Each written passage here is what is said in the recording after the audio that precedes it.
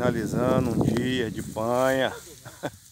É isso aí, a galera apanhando, só na panha.